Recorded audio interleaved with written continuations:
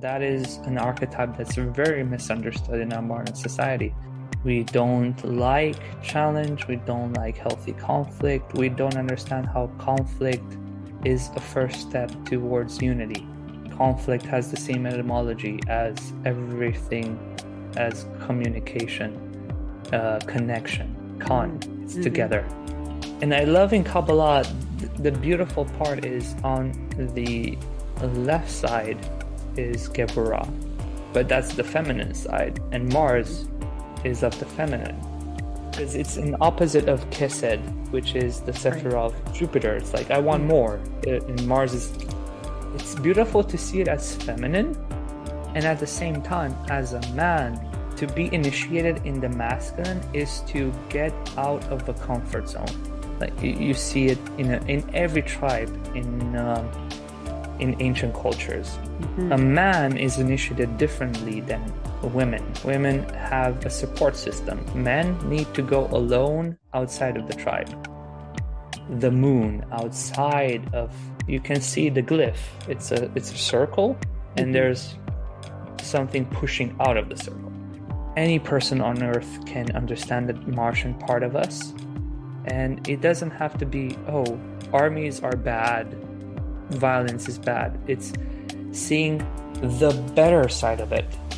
Uh, learning martial arts to protect yourself, having an army to protect yourself from hostile environments. This is a hostile world. It's not an easy reality to live in. So, Gevurah touch, uh, teaches us to say no, to uh, keep our balance, to cut ties that would uh, create toxicity in our life, mm. and to protect, turning the conqueror into protector.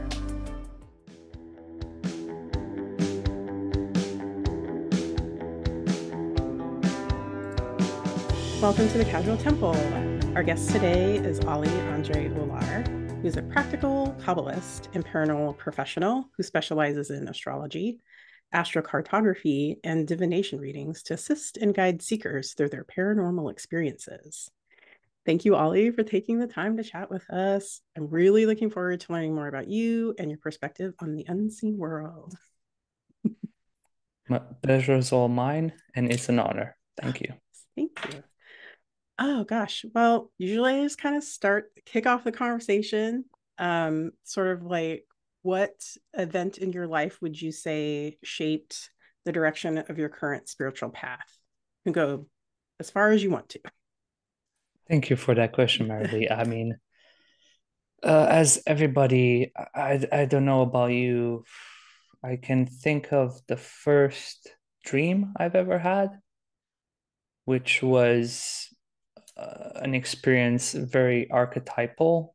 It was very uh, steeped in uh, the the the color I I use in my branding and what I felt is things around me that I could not see or interact with. Mm. And that was the path that pushed me towards where I am and experience every day. It's what is beyond the known, what is beyond what we understand as human beings, both scientific, both folkloric. And I spent my whole life with my family being brought up in the Carpathian Mountains, interacting with uh, the elders from that place, being like, hey, don't spend the night after the moon phase at this specific hour because you're gonna meet some dudes that have hoofs. Ooh. And they're gonna do this certain thing and etc. etc. Mm-hmm. I had these transcendental experiences within my body in a sober experience, and I could not make sense of it. Right. Yeah.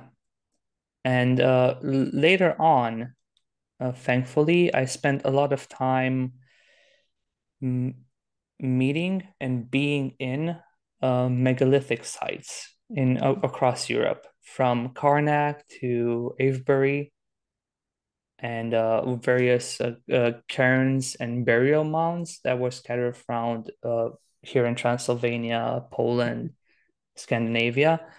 And I just sometimes I would go there, drink, and sleep. Hmm. I don't know why. Yeah. But that initiated myself into the unknown. And here I am speaking with you. So right. I think it went into a good place. Yeah, I think so. I'm really fascinated by how your first experience was a dream. Is is kind of how you it's really that's really interesting say. I don't think I've had a guest that has necessarily said like it was definitely a dream because and um yeah because if i think back i feel like when i was a child too i had a lot of like weird dreams that i couldn't really explain but they were really vivid you know hmm. um so that's I, i'm fascinated by that um and also i'm curious what your perspective is around um kind of growing up with a lot of these folks around you that are like don't go out during this certain moon phase you know that kind you know that kind of thing. Um, because here in the west it's or at least in america i'll just speak for america because i'm american that's just not a thing right? So i'm very curious what your perspective of of what is missing um, from the american west i guess. That is a very cool question. I appreciate it merrily mm-hmm. um, we are Romania now is part of the West as well. So on a, a cultural subconscious level, we are of the same uh, society. Right. What we do, uh, the part in in Europe is this specific city, this specific region has a very tight knit valley or mm. region that it doesn't go out of that bounds but right. it does have similarities between all of them mm. I, I found the same things i learned in the carpathians that were in the appalachians in nova scotia right in in uh, mongolia etc but what we miss i think in all of our society is uh, we lack the understanding of time and mm. nature and uncertainty and the unknown. And we lose our cognitive ability to have a, a healthy relationship with these parts of nature that are normal. Mm-hmm. We, we always want to know what we do. We always want to have everything under control. Yeah. And I don't think that's part of the human experience the fullest. And understanding that from from the elders that survived communism here mm-hmm. um, is understanding uh, being in communion with parts of nature that we cannot control and are a bit scary beautiful and uh, terrifying at the same time mm. yeah that's really well put i like that you brought up the um, the appalachians here in america because it's definitely um, I had a guest. He and his uh, he was talking about his family who tend to be from the Appalachian region and definitely close to the land, and very strange things happen quite often that would probably freak a lot of you know American city folk out. so um, that is a really good perspective. Thank you for sharing that. Um, now I know you mentioned sorry you had uh, sort of elders maybe in your family or your community that uh, probably helped shape your path and help guide you um, did you have any other forms of support or guidance as well kind of coming up mm, no not at all i mm. felt very isolated in a sense with sharing these experiences with others uh, only very elder people in a village somewhere would understand that hey that certain entity or archetypal force can visit you during this liminal part of your life. But i grew up i was born in 89 and i grew up from the 90s in 89 the berlin wall fell and uh, our culture went from communism to democracy nobody knew what they were doing. Mm. Uh, things happen. Uh, certain pockets of lore and etymology still existed in the villages, but not really. So, Mm. in urban environment, in a secular society, it was the opposite. I did not understand what was happening to me, and I felt very separated from uh, I think what I think right now is uh, a thing that happens to most people normally and Mm. naturally. Yeah. That's a good um that is a good point. Like you feel uh separated from that and it should be maybe more natural. Um yeah, and I think there is kind of like a a sense of that missing, but you can't maybe at least I'm speaking for myself too, but um you can't really put your finger on it until maybe some more investigation is happening. I mean, this this uh yeah, the path of reconciliation with these parts, hidden parts of nature, I think we have to be one foot in it and Mm. one foot in the secular. We Mm, cannot dismiss either or, right. but how can we function as mystics in in a world where sometimes you're you're a kook in that sense or the Lulu, and in another sense you're too scientific and you're like, I don't know, Yeah. whatever. Right. Yeah. Um, that is the balance, right? It's like I think I even I was talking to somebody recently and I said, yeah, it's a lot of it, at least for me, is being comfortable with being probably labeled as a cuckoo. a little bit of what Um, but I think, you know, and you and I chatted also a little bit about how you have very scientific and analytical minds. And um, so yeah, that's like that's definitely quite a balance to strike. So yeah, very cool. Um, and what would you say were some uh, favorite books that you could point to along your path that were really integral for you? Yeah, uh, appreciate that question. Mhm. Sometimes it, it, it fluctuates from here and there, but specifically, I can remember being a practical Kabbalist. Mm, I, I did not read anything astrological, but with Kab Kabbalah, I like where we chatted, I just uh, traveled to Edinburgh, which is my mm, favorite uh, city in Europe. Shout out to all my Edinburgh peeps. The moment I put my foot down from the train, I got this uh, archetypal insight, like from the gut. mhm, Go to the occult bookshops and uh, get Kabbalistic books.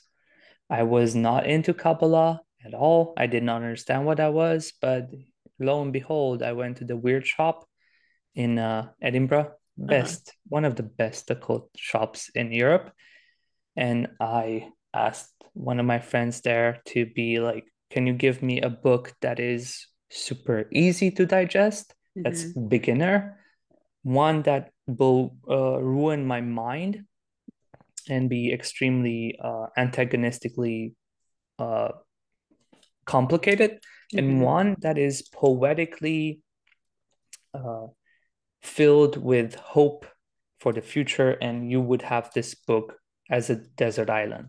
And this mm. is the book uh, about Luria, the window of the soul. Oh, wow. I cannot recommend enough. James David Dunn from the uh, with forward from Rabbi Ernesto Yata. I could not stop reading the introductions of this book. It was amazing. Put me on the path of understanding uh, from animism to astrology. Kabbalah just answered the Mhm. why. Oh, cool. The, the beginning parts were like uh, the middle pillar. We all know Mm, that Israel Regardie's classic. And uh, the advanced one was a treatise on the Sefer Yetzirah from Kap, uh, Aryeh Kaplan. So mm, super cool. Perfect. Wow. Yeah, I'm I'm very excited because I haven't. I mean, I have the Middle Pillar by Israel Regardie, but the other two books I'm not familiar with, and I mm. have the Sefer Yetzirah, but I feel like it's just raw, right? So there's like a translation, and so it's kind of to me anyway, it's kind of impenetrable, right? It's like, how do you, you feel about that? Yeah, yeah. Um, I think most. I think the impenetrability is like read a sentence, maybe sit with it instead of what I try to do is like reading the whole thing and going, hmm, not exactly sure what's going on there, but um, but I think it's more contemplative. That's the part with the Sefer Yetzirah. Mm-hmm. I would read it, put it to the side, and let the subconscious figure it out. It does mm. not make sense. Yeah. read it again, it does not make sense. Read it again, it does not make sense. Read it again, it does not make sense. You walk down the street one Tuesday evening, starts to make sense. right. right. like in technology, it's kind of doing its background processes, right? doing that. Yeah. And I would recommend uh for others, like if you want to understand like the paranormal, understanding mm. the unknown, I would really recommend John Keel, uh, especially the eighth tower to really have a different understanding of the archetypal forces. It's not not cryptozoology. It's not mm. UFO. It's not aliens in a spaceship. It's more than that. It's us and outside. Mm. Uh, George P. Hansen's Trickster and the Paranormal. If you can ever get a grip on that book, it would. Oh, I cannot recommend that enough. Oh. It is the best, I think, book to understand the liminal forces that we generate as human beings and outside of us in a uh, in a space that is uh being interacted with mm-hmm. the unknown and the trickster element behind it because it will always play various games around you mm-hmm. yeah uh I happen to read so now uh, two more books I have to add to my list because uh, I think I definitely have like one of John Keel's books um, that I did start to read, but I haven't finished it. And I'm trying to remember which one it was. Um, you know which one it is? I'm sure Mothman? it's the one. Yeah, I think it was the Mothman uh, for sure. Which it, it was again. I started it and I was like, I don't know. It's like I know, right? There's a lot going on. it's it's it's a lot. It's yeah. some crazy stuff right there. Yeah. Um, yeah. But the other two books that you mentioned, because I'm thinking of um, Daemonic Reality, because I talked about it on my show, which is, yeah, is amazing. Yeah. And then, right. um, gosh, what was the other one? Oh, and then I read, um, there was a book about Pan, the god Pan that came out. the Rebirth of Pan? the Rebirth of Pan, which I read. Oh, and God. so I read those like at the same time, right? And so when you're talking about the trickster element, you know, it's like you know trying to figure out what that means for us what do you think the rebirth of pan means but i'm curious Ooh, you know i don't know if i i don't know if i have a hundred percent formulated opinion on it my current i'm sure it's going to change um, but my current feeling about it is that the rebirth of pan is pan is always evolving as a as a cultural being and as a like a like a soul of the world incarnation like anima you know what i mean um right. yeah. because like i've seen pan like the figure of pan like it's in different cultures right? like it shows up like the same type of being uh shows up in a lot of different cultures so. Um and i think he's trying to get us more attention now because like you said there's that disconnect with humans and our connection to nature. Um and so maybe that trickster element is coming out in some ways that you know sometimes the trickster isn't super nice right? sometimes it's a bit too gnarly yeah exactly do, yeah. do you know what when uh, it was written there was a very specific transit happening mm, oh really yeah Didn't know that what archetypal astrolog- uh, astrological archetype would you r- think Pan is? Ooh, God. Ooh. What beyond like Mercury? Beyond Mercury. beyond Mercury. Beyond like you know the outer ones. Mm. I'm going to say, and this one sounds weird. I'm going to say Saturn only because you know Saturn is Earth representative, right? Like it's like yeah. Earth. Yeah. Okay. Perfect. Saturn was conjunct Pluto.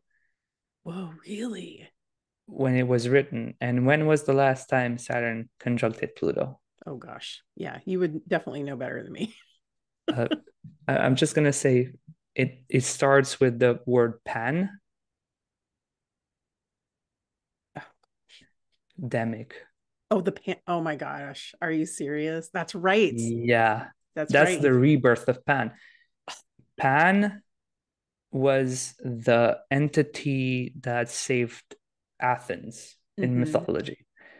And it saved that dude who la- ran across from the uh, that battle with the Persians to to get to Athens and Sparta and be like, "Yo, we need help Right. because these dudes are killing us." Yeah. But Pan, at the meantime, saw the marathon runner, the Battle of Marathon, Mm. was like, "Yo, I, I can help you if you build a temple for me. You know, Mhm. not not in the center of the of the city, because I'm I'm still a weirdo wild guy, but just adjacent.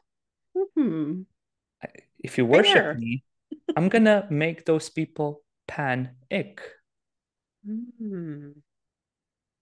Hmm. Pan rebirths itself archetypally through pan something, pandemics, panic, and it loves panification, like we call it in Latin, bread. Mm. Oh, that's right. That's right.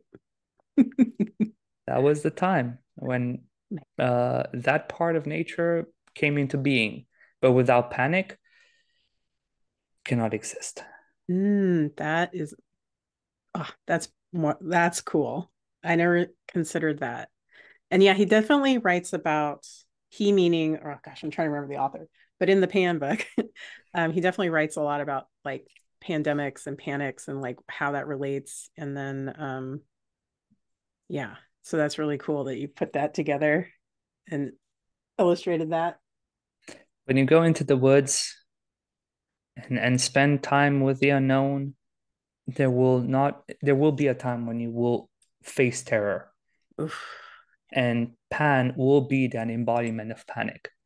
Mm. I've had that numerous times, and I'm trying to make it more of a healthy embodiment in my life. Sometimes it's more destructive than not, but that's how that type of mm, you're in the wild, but you like the commodity of being around humans. Type of it, it, it's the it's why the wild nature. It's an embodiment communing with us, trying to be, hey, there's more to life than this. Mm. That's how I perceive it, at least Yeah. at the uh, this time. yeah. Yeah, Ooh, yeah, it's definitely like a shake. It like kind of shakes you up, a- you know. like. Uh, yeah, yeah, and I know in a lot of um, not a lot, but there's in the, some magical practices, it's kind of encouraged that you go by yourself into the woods. you know, I'm like, whoo, have not done it yet because it's uh, yeah, working myself up. but I just want to say, if you start giving an offering to the woods, you you, Mm. you cannot stop. You have to keep going. That's what. There's a very haunted forest near near Cluj, the Hoia Baciu forest. Mhm. And I started giving offerings of panification. Mm. You should not stop whenever you go there. So, you know, it's like taking care of a pet. ah, yeah, it, there's a there's a hidden uh rule set of understanding the unknown Mm. within and without. Once you start giving something to Pan, you, you can s- s- uh, stop. So better to just not give Right. too much. Ah, That's good advice. I'll have to remember that. Um, I will just mention uh, that my mom, so my mom is Filipino. And uh, so definitely very, you know, listening to the stories of kind of my great grandmother, she's very um, in touch with the woods, so much so she would do offerings to like the bamboo forests. Oh. And um, anytime, and she would was really strict about like anybody is entering that forest, you have to come to me first because I have to get permission right before you go in there. Um and then apparently one of my great uncles did not do that and he broke his leg. There you go. Yeah. And then she had to go in with like a big tray of something to the woods for hours my mom said and like talk to whatever was in there uh, to get them to like help his leg heal. I can uh yeah. i can say yes. Yes that's how it happens. You you just you talk to the woods like a weirdo and say, "Hey, can I?" yeah, yeah. can I come in here? Yeah, but Maybe. It, it does make pan is it means all in Latin. Mm, mm-hmm. So you're talking with everything, within and without. Yeah. That's a good that's a good way of looking at it. Very, you know, again, sort of that animus sort of thing. Like it's all it's all you. It's all it's all and it's all them and uh, yeah.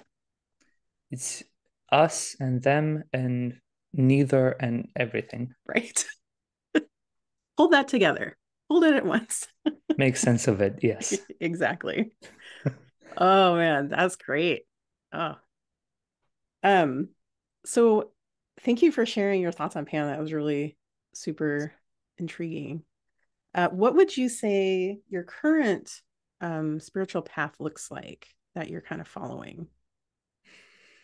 Interesting uh, question. It always evolves. Mm-hmm. I I started. Uh, that's how I learned astrology is from gardening, just taking care of plants, and you do certain things with plants at certain uh, certain phases of the moon. That's just the farmer's almanac. Every person who takes care of plants knows this. You preen when the moon is waning, you change pots when there's a new moon, uh, you let the fruits take root in full moon. What I had fortune of is being surrounded by really cool like women friends and they at the same time when I was taking care of the plants they would be like oh the moon's in cancer I feel this way hmm the moon's in Leo. I feel this. I'm like, I understood empirically that the moon doesn't influence the planets, mm. but it is a barometer, it is a clock. It's a Neoplatonic way of seeing the universe. It's it's just you look at the sky and it's like, ah, oh, now I need to do this. Mm. But then something shifted. It's like, let me just observe and it's cool with the moon because it changes signs every two and a half days. So you could take a step back and see how that archetype would manifest in other people around you for a year or two. And I was just, oh, this is when the moon in Cancer waning is moon waxing in Cancer, Taurus, Aries. I was very skeptical with astrology. So mm um, that was a catalyst because before that there were these experiences in nature that i did not understand uh, ecstatic experiences. I would walk through the woods and had contemplative outer body experiences just by walking just by being around nature. What is that? I did not know. Uh, so that is the root of my path. Mm. But understanding astrology, understanding animism, I, I could not uh, get why. It hmm. doesn't mm. respond to why. Why this, why that. It, you could, you know, because of this spirit or because of that planet. The aspect of Kabbalah and contemplative mysticism is the, the missing ingredient. So now what I do is whenever I'm triggered or my nervous system gets out of whack, take a step back and try to see the beauty in life. See a color that I like. Uh, remember beauty. Remember the fact that this universe is imperfect, as am I. So why fight against it? Hmm. This is where I'm going. Uh, mm-hmm. Trying to go from astrology, like, oh, you know, re- you rep it. There's a spring, summer, blah, blah, blah. What's the point? Right. Beauty is the point. Love is the point. Mm-hmm. So that's where I'm going into yeah. being alive and all that entails in our modern life, all the pressures and uh, and uh, mm, uh, struggles, but at the same time, can I see beauty in everything? Mm. Not in a delulu way, not in a manifesting stuff, you know, you know. right. Does this sound uh does this uh jive with you? Does this sound familiar? Yeah, it's definitely kind of like what I'm getting from what you're saying um is just kind of being, right? And absorbing instead of like putting that mental like brain out there like when I like when you said um what like I'm asking why, why. It's kind of like a child, right? When a child asks an adult why, they want it explained, right? The sky is blue because of da da da da da, right? And that and that's kind of what we are expecting. But I think you beautifully were explaining it's like, you know, sometimes you're not gonna get the answer like da, da, da, you might even like get an answer. you're just like you're just kind of there. No yeah. Um so i really like that and you know of course you know there's like trying to find the beauty you know understanding that love is really the thing that holds the things together um even though it seems so hard sometimes. I know right? that's the test. That's always it. Yeah. Oh so cool. Um and so i know uh so is this how sort of astrology became sort of big part of your path was like the plant working with plants and then kind of feeling this out and that sort of thing. Yeah. Yeah. That's I really was into gardening mm-hmm. uh 10 years ago and spending a lot of my all my past was in camping because mm-hmm. of my parents and uh living in the mountains. And when you spend time a lot in nature if you you can talk to hunters you can talk to hikers. There's a point where they will meet something outside of themselves. Mm. and you cannot put it into words. So that's where for me in in a strange way when there's always a, a moment where you go into the unknown but you you you disconnect yourself from that path i think mm. going on a path you have to first lose the path Oh. And and I went through that randomly when I went into a corporate environment in in a uh, finance. I got mm-hmm. sent to work uh, remotely in the UK in 2015, right next to Avebury. I was not expecting this, but Avebury being my favorite place in Europe because it's a medieval, a medieval Neolithic stone circle mm-hmm. from thousands of years ago. And I got randomly dumped there with a team. And one of my friends from the corporate environment asked, asked the uh, the cab driver that would take us from the place where we were sitting to the nearby county to the offices where we would work. And we're like, hey, we're we're living in a very remote place. Is there like a civilization thing here? Is there malls or something? It's like, hey, there's like a, a stone circle here. If you're like one of your friends, maybe he likes the weird place. and my face dropped because my whole life since I was five years old, I dreamt to be in Avebury. Mm. So every weekend, I would spend time in blizzards and cold weather, just walking around the Neolithic sites, meditating on uh, catacombs mm. and places of the dead, and just initiating myself in that way, Mhm. not knowing that that's a thing actually. Right. Just felt natural, seems like. Yeah. Yeah, just go and sleep on a burial mound. See what happens. Like, Right. oh, wow. Yeah, that's cool. I like that you took that initiative and that opportunity, right? You're like, I'm here. I've been dreaming about it. What do I want to do? I want to sit sit there and like let it absorb or whatever. That's super cool. Oh, and I did want to say because you mentioned um because I've been to Edinburgh once, and this is many years ago before any of my like occult and esoteric life. But I remember walking because you know you tour the Edinburgh Castle as you do, and Yeah. there was the room they take you into like the chapel room, which is really small. And I remember I walked in there and I was like, ugh, like, and I said, there's like a speak, is there a speaker in here? And they were like, what are you talking about? I'm like, there's like a buzzing in this room. It's like really strong. And everybody was like, what are you? I'm like, there's, I think there's a speak, you guys have a speaker or a light or something is making a lot of noise. And they were like, I don't know what you're talking about. And I was like, oh, okay. but I think it was just, just a lot of energy for some reason. Yeah. You know, those medieval places. Yeah, I can't stand those medieval places. As as much, hey, I, I love Edinburgh, but I Yeah. like the new buildings. I mean, Mm, narrow corridors, buzzing. It's, uh, like so much old energy in a place. No Oh. way. Yucky. Yeah, That's me. Pretty yuck. Perfect. so yeah, I'm glad.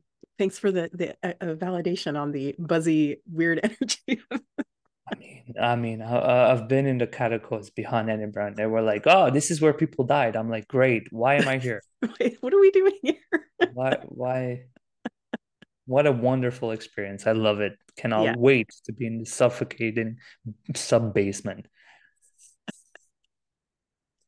Ugh, the things we do for uh to look into stuff. Um, well, wonderful. I know um you kind of you, you talked a bit about Kabbalah and we chatted a bit about it in our you know pre-chat call. How would you describe um Kabbalah, like mysticism and practical Kabbalah that you're kind of working with in that fashion? Great question. Thank you. I mean, Kabbalah is it, what it means is is a tradition, an oral tradition, is something that you give, is to give. And the thing that I love about it is that it's a dialogue that keeps on going. You can add to it as a heretic. Like I'm not into uh, let's say Judaism or Christianity or something like that, Mhm. even though ironically, I think I'm more into divinity than those people, but Mm. in a more contemplative, abstract way. Right. But it's this through the act of giving and the dialogue continues. It's not a, it doesn't have a beginning and an end. That's where it, like the Sefer Zohar, Mm. Mhm. it's a dialogue between various uh, personalities that the authors wrote. It's not one person, there's Right. many. That's right. Yeah. That's the beauty of it. It's we add to the uh, tradition by Mm. living and giving more, and by seeing beauty and being in honor of beauty and working for beauty. So Mhm. you add to the Kabbalah without knowing. I add to the Kabbalah without knowing by being just a better dude and do that. That's it. Right. uh, that's a one- that's a really beautiful way of looking at it. I didn't think um I think that was kind of missing in what I've been looking at as far as like the Kabbalah is sort of the um that it was like the the Zohar um was written by several different people. I think I had watched um oh gosh, uh just I'm sure you've seen Justin Sledge and Esoterica and he his ch- yeah, he's a pop pop pop channel. Um and he kind of goes through a lot of the Kabbalah and I, I remember him talking about it, but I didn't absorb it in that way until you explained it. So I appreciate. I, I love Dr. Sledge. He he Yeah. comes from a very more astute, historic, Yes. academic place. Yes, for sure. Again, I come from a more experiential, weirdo, Yeah. weirdo Right. place Yeah.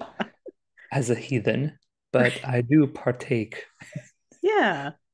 Yeah, yeah, it's it's beautiful. I I, Mhm. I cannot overestimate, uh, over mm, share how how beautiful the Zohar is. It's Yeah. just insane. Yeah. It's like what a gift, right? That we we have it to look at in these times. And oh yeah, I love it. Um, so can you tell me, now I know because I looked at you, you help a lot of your uh, clients and people that you work with on sort of their paranormal experiences. And um, one of the offerings on your website is uh, Kabbalistic astrology. And I'm very curious um, what that what that is. Well, thank you. Uh, I mean, Yeah. you know, uh, Justin Sledge said this as well. There's no correspondences with the Sephirah. There's things in those uh understandings, the, the tree of life and all those little circles that are beyond our understanding. But for us to understand it better, I think the work of, let's say, Crowley, you know, everybody else, I think it's it's very important just to un make our mind see the bridges between things. Mhm. And like in Israel Regardie's book, The Middle Pillar, that's the point. I, I think we talked about this. It's like a, a, a balance between masculine and feminine, a balance between harsh and light, uh, good and bad, dark and light. It's, I think, despair and Mm. hope, for example, are the same thing, different sides of a coin. Right. So practicing this with with uh, clients is they have an emotional response. They're having a, an emotional experience that is very steeped into one of these elements, be Mm. it water, air, fire, earth, or a planetary archetype. Okay, let's balance it out with the opposite. Like it's too much air, bring some fire bring some water, bring some earth. Too much Saturn, bring some uh, sun. Too much sun, bring some Saturn. So that is what I do in my practice is uh, when I'm gonna meet my husband, when I'm gonna do this, it's like, no, it's understand the absence, understand the void, Mm. accept it. And like in Lurianic Kabbalah, it's create a space with no, no, no. It's like a quilt, and you create a space for something, and poof, Mm. the universe adheres uh, a void, and it will create something. So Kabbalistically, it's that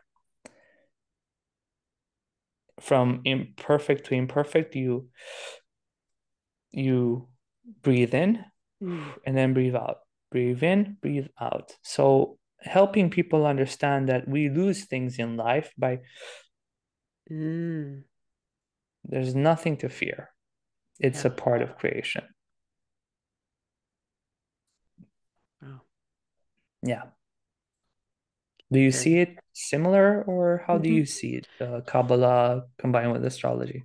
Oh gosh, yeah, pretty much. uh, You know, again, you explained it very well. I I like your, you know, the association with like the breath that you did, and then the the quilt, because the way I've been um kind of explaining to folks is like containers, like um at least like yeah, like like a my magical practice and like understanding like you create sort of like a container for something for Right. you know like if you're manif you know let's say manifesting um you create the container of like this is what i actually want now you know i need the spirit energy to get in there Yes. um Yes. yeah and so that's just kind of how i've been conceptualizing it um Yes, like beautiful. It makes sense. yeah thank you um yeah and it is like you know we talked about that before is like yeah for me it's all about balancing um, myself because like i have and we're gonna talk i hope we're gonna get to chat a little bit about Geburah and mars um but my planetary chart ruler is mars but i'm a pisces sun right and so there's like a like a, a push pull with that um and yep. so uh yeah so it's just kind of really understanding those elements and what i need to lean into to either you know understand a situation that's causing me some some anxiety or strife or like a person that's causing me anxiety or strife or you know some something like what is the energy that needs to balance like you said like to balance this out? Um yeah. yeah, yeah. and so it's very much very similar. Ah, yeah, cool. Well, I'm I'm really glad that you um you help people along with that because it is, and like you said, I, you know, some people might come to you and like, oh, I want like a husband, or like, how do I get how do we get that? and like, well, I mean, we all do, but yeah, right, exactly. yeah. What vessel are you pouring yourself into? Yeah. Like. Yeah. We're all vessels. Everything is a vessel. Our thoughts, our emotions, mm-hmm. our being they're all a bubble. They're mm. all a vessel. Mm-hmm. And vessels break sometimes. Yes, they do. Then you put it together. That's right. In a better way. Yeah. Yeah. Oh, so good. Um, yeah, and I did want to just chat a little bit about because we were talking about Mars energy, and you know, I really liked what you had to say about that because um, I was relaying to you how I was having trouble, you know, because I have a planetary altar for all of the planets.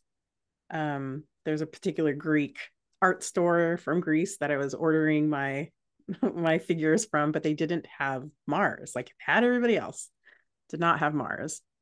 And I was like, that is so strange why they wouldn't have Mars. And then when I went to look for like a Ares or Mars statue, it was kind of hard. I mean, I could, but I'm also very picky. like I wanted it to look cool. Um, and I did finally find something that I really liked, but it took me a little while. Um, but you know, from what I got from that was like people, it feels like people are kind of uncomfortable with Mar- Mars energy. And, you know, kind of no wonder, like we have like a lot of Mars energy happening in the macro level right now. Um, right. So I'm just curious what your perspective is about people's relationship with Mars and Geburah and Ares and all of that. Thank you for that question. That's a very valid question. And I mm-hmm. think that is an archetype that's very misunderstood in our modern society. Mm-hmm. We don't like challenge. We don't like healthy conflict. We don't understand how conflict is a first step towards unity. Mm. Conflict has the same etymology as everything, as communication, uh, connection, con, mm. it's mm-hmm. together that's right. It's a part of yeah.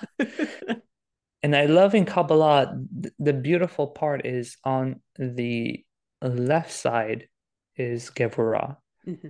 but that's the feminine side, and Mars mm-hmm. is of the feminine because the feminine is like, no, I don't want this. No, you cannot have this. Mm. And you see that in Scorpio, for example, very beautifully expressed in the feminine essence of Mars. Because every every every uh, archetype has the archetypal masculine, archetypal feminine. Mm-hmm. And to better understand Mars, understand Scorpio, it's like, no, fuck off. And because it's an opposite of Chesed, which is the Sephir right. of Jupiter. It's like I want mm. more, and yeah. Jupiter's uh, and Mars is. Put it down. yeah. It's beautiful to see it as feminine. Mm, yeah.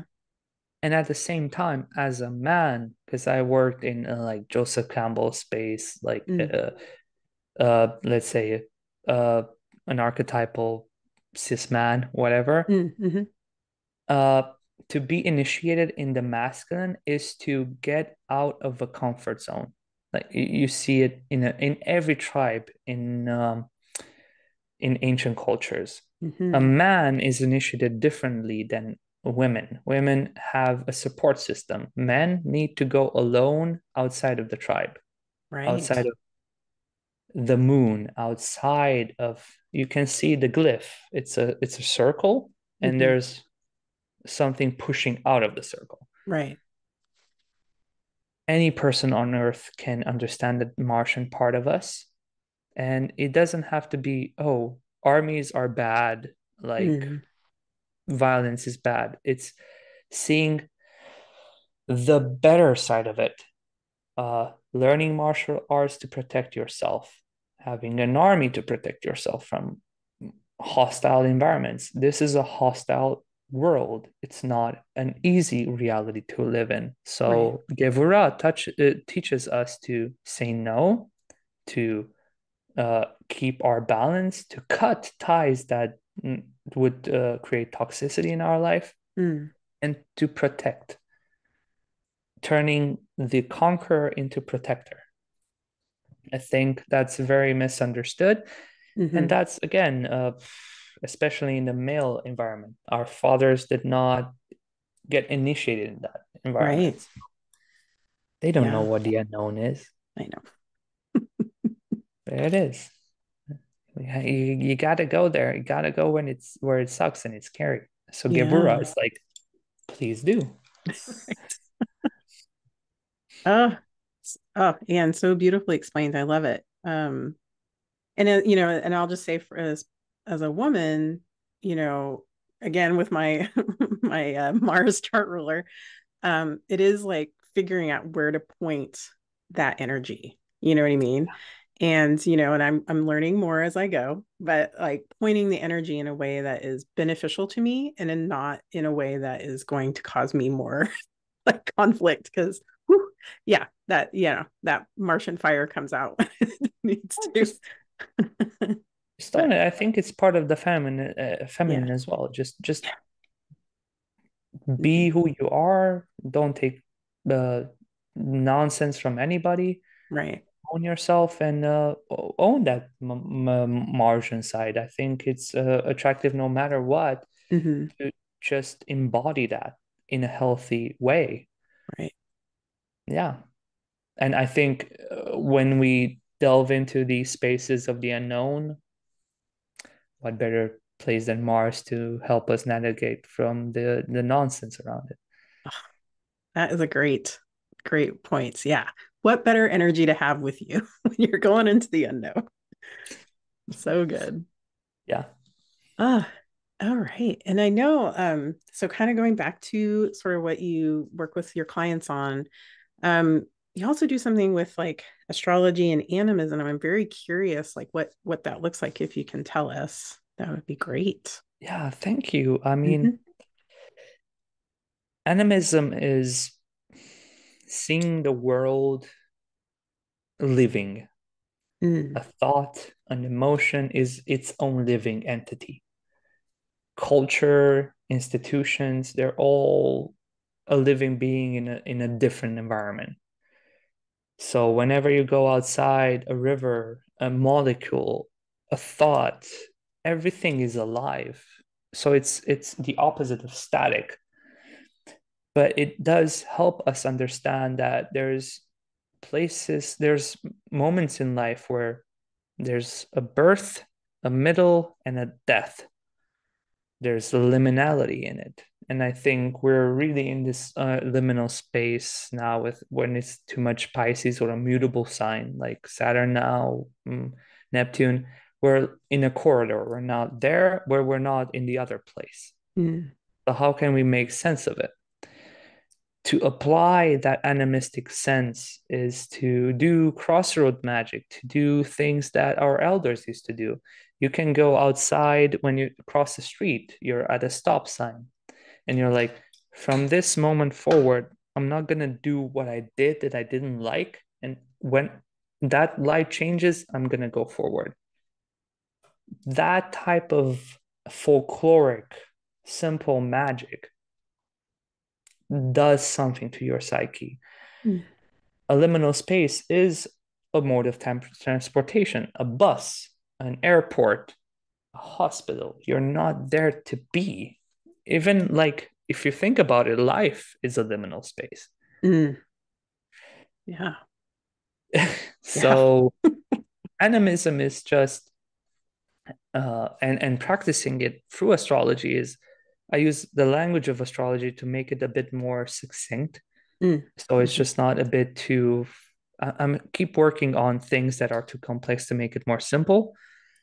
But if you're grieving a past relationship, let's go on a crossroads and you have you're coming from a, a path and you have three other paths or whatever. You take the initiative. You take one path and you honor what was. You're like thank you for everything you was. You look one last time behind and you go ahead. It's not just burning a, a, a picture you let it go into water if you want something more simple and uh, heartfelt uh, or in the air or just working with these simple elements of making reality more alive around us. Because mm-hmm. a lot of with astrology you look at this like 2d circle. Right. Like oh, whatever. Yeah but if you transplain it in in a folkloric sense that everybody understands you, it does start to life starts to become a fragrant full effulgent. Mm. it's very beautiful. Right. So yeah that's how i see it. Cool. Yeah i think that's very helpful. Yeah you're right because it is kind of you know I, and especially when people come to astrology who maybe are very fresh to it and then sort of using so folklore and sort of these things that people are maybe more comfortable with instead of like you know giving them degrees and houses and they're, you know i love that so it's very cool um, and so I know one thing because I've heard of on your kind of offerings is um, astrocartography. and so I've sort of heard about it. I don't really quite know what it is. So if you don't mind explaining it and then how you, that you kind of work with that with uh, with folks, be cool. Yeah, thank you, thank you for that. Mm-hmm. I mean, whenever I, I don't know what uh, what do you do when for you ex- uh, specifically, Merrily, uh, mm. when you have too much like things stress you out. So what what's your go to when you take a step back and recalibrate your nervous system? Let's say. Yeah, I actually was talking with somebody this weekend about that. But what I do um, is I'll go in meditation and because uh, I feel it, it feels like I'm pushing too much of my energy out to make something happen.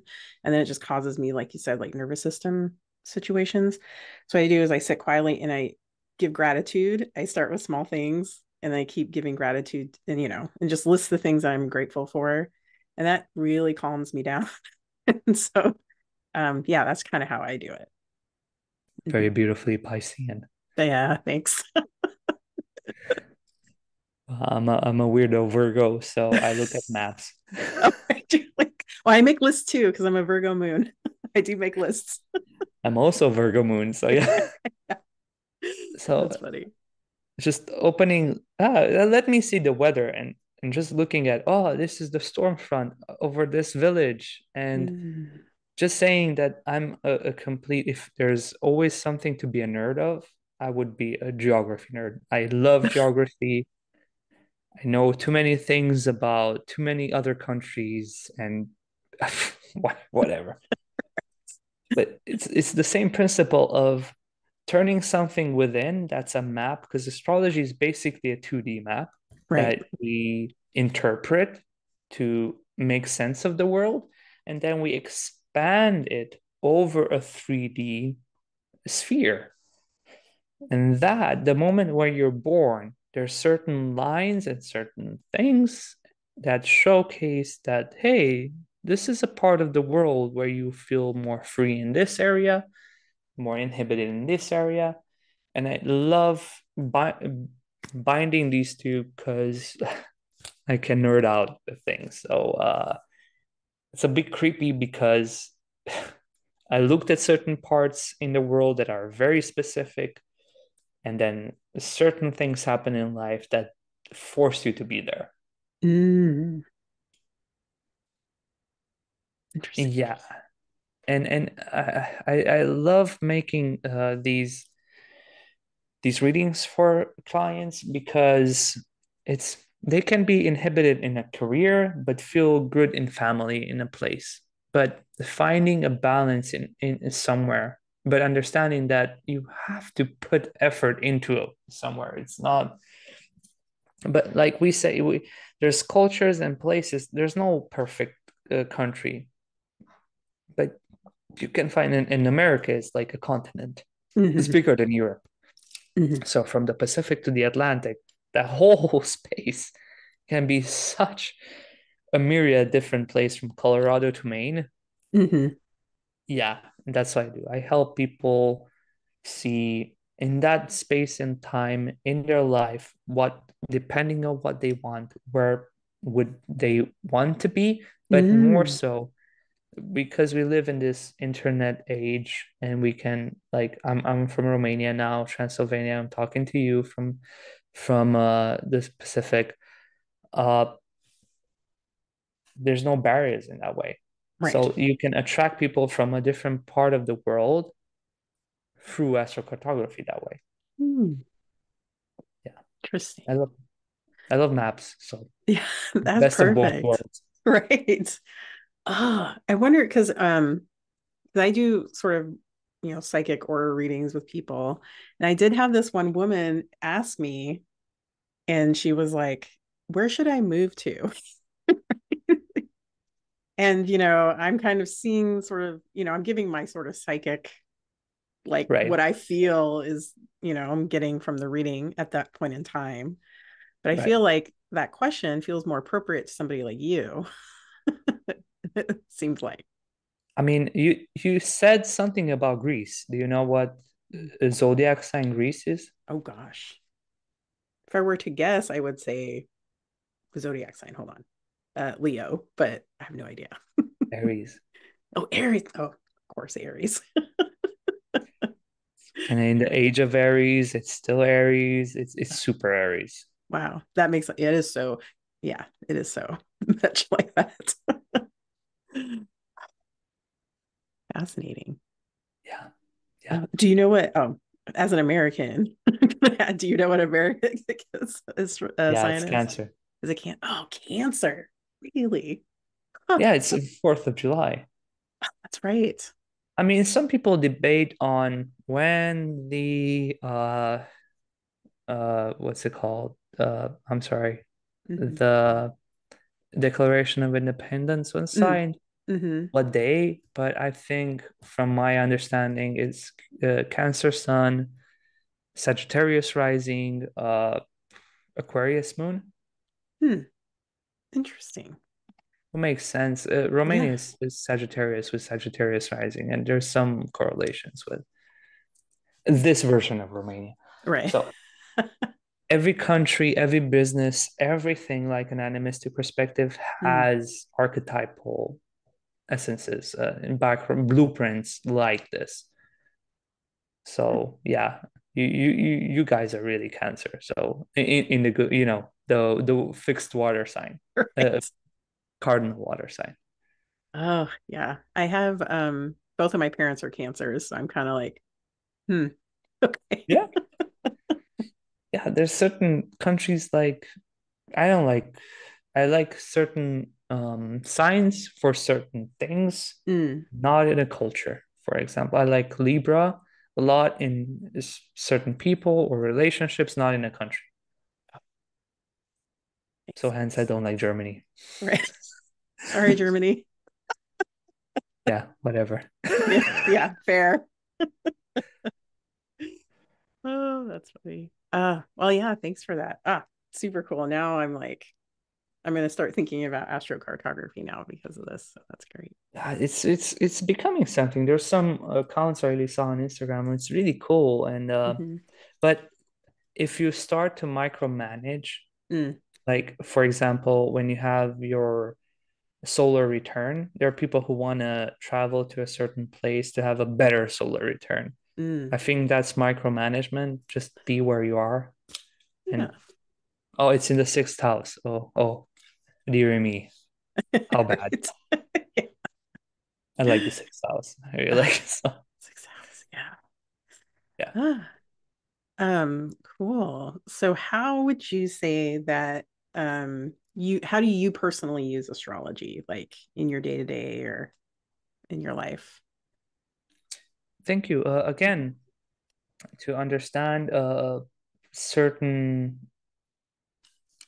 voids or or uh, let's say if I am feeling too uh emotional, Mm. too creative, too much fire, too much water, Oh. I have to bring some air, some uh earth.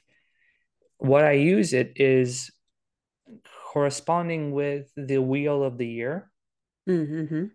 There's certain things that the season of winter teaches us, the season of summer teaches us. And that reminds, if, if, think of winter. It starts in the cardinal sign of Earth, Capricorn. The middle of it is the fixed air sign of Aquarius. Mm-hmm. And the end of it, the death of it, is the mutable sign of water. It misses fire, fire sign. So what it teaches us, focus on fire more. Mm. How can I focus on fire in my own way, in the Leo, Sagittarius, Aries aspects of me, to highlight those in a, in a period when that is missing in the outer world. Mm. Through me, I then uh, create balance and harmony in reality. So that's how I use it. It's like certain seasons have a certain period when I have, like, I, had a very gnarly Saturn transit. I know I can balance it with something non Saturnian. There's always a negative aspect happening. At the same time, a positive aspect is happening. There's no in between. It's it's always happening at the same time. So what astrology is helping me to understand is to not get sucked into a repeating pattern of just blaming it on Saturn or this. Mm. Mm-hmm. If if you start seeing astrology like a path forward, like applying the wheel of the year, like every autumn, the death of an autumn brings us a, a, a spring, and so on and so forth. It's a step forward. Mm. Very cool. Uh, that's what it helps me to articulate a bit the aspects of nature I cannot put into words right. or practicality that much. Yeah. Mm. Yeah, thank you. Yeah, that's good to think about. I didn't consider that, that you kind of want to offset sort of maybe the time of year with certain energies. And yeah, that's really cool. Um, so we're kind of wrapping up, but uh, do you happen to have either like a favorite client story to share, or at least how you enjoy working with clients, or something that you'd like to share about that? Sure. Uh, Mhm. like I'm I'm I'm exploring to not work just one on one with clients. I want to make things more evergreen, but that I have a a day job that learn from that to apply to, Mhm. to this to this space. Also, it's been like so many years since I practiced being an astrologer with clients, uh, Mhm. since six, seven years ago. But one thing specifically came to mind. I I'm like it's not we talked about this previously. Not when I get a husband or a wife or this thing or that thing. A lot of my clients come for very gnarly things. Why Mm. did that rape happen? Why did Right. I lose that baby? Why did that person die in that way? Yeah. I'm I'm I'm a person I'm a man. I'm a I'm a I'm a human being. I, I don't have an answer for that. What can I share through these interpretations is to see it's not like that manifestation new age like it's your fault. It's your fault Mm. for Mm. Mm-hmm. you manifested it because you're this 5D person. Right. That's a bit spiritual bypassing in my view. But Yeah. how can I understand through archetypal means? uh, specifically, like I said, that that person with a, a miscarriage is like, why did that happen? Why did I lose that baby? Mm. And we we got deep into it, like a psychiatrist. Why? You ask why until it bleeds and it hurts. Mm. And you use the language of archetypal astrology to see, hey, you are going through this in this period and i'm here to see you. I'm here to understand you. You're you're not alone in this. You are a human being. And i hope that this experience makes you strong mm. through it all. So i i keep remembering that because it was highly personal and uh it made me very uh, fulfilled and whole that i could bring not escapism but meaning to entropy and the unknown. That's what I want. I want to be a conduit to meaning from absence and the void. Mm. Yeah. Wow. Beautifully said. Yeah. I think a lot of times it is people just need someone with them, you know. And we yeah. there's like the left brain logic and rationale a plus mm. b equals c and that's in, in in math it's like algebra mm. but there's the other part of math that's more gnostic and abstract like derivatives mm-hmm. uh add infinity to infinity plus one what does it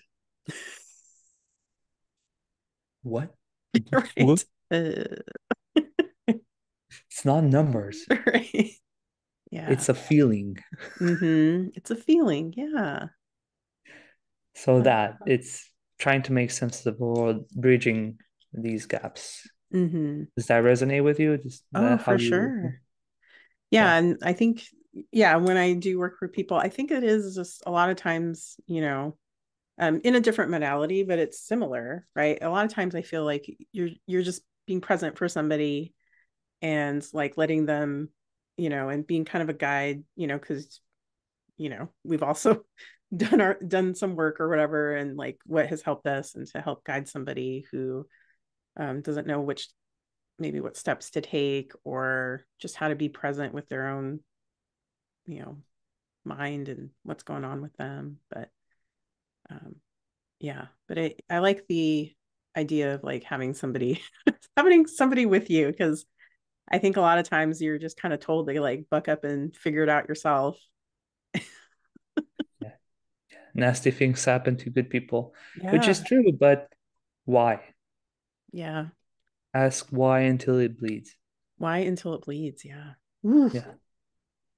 That's that's when you get to it, I guess. And that's yeah, that's a good point. Yeah. Yeah. Ah, well, thank you so much, Oli. Um, so, where can folks find out about you to learn more about you and like cool things that you do and what you're up to?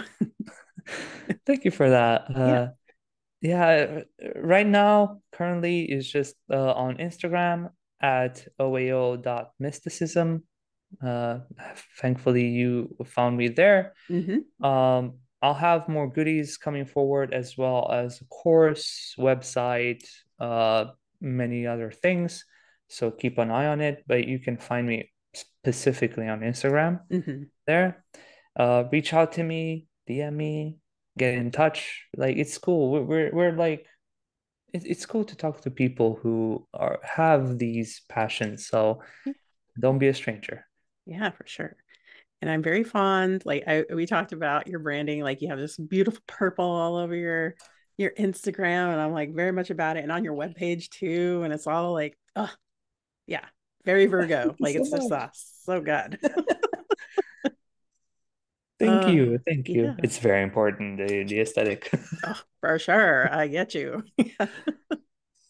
um, so what words of wisdom would you you've so much words of wisdom today, but what would you words of wisdom would you like to leave us with today? Ah, thank you. I mean, I, I keep coming back to this. I uh, I'm more into like Western Hermeticism. So everything from Western stuff, all of it comes back to Egypt. Everything from mm-hmm. Christianity to heathenism or whatever. It, it always comes back to Egypt is the common node of everything.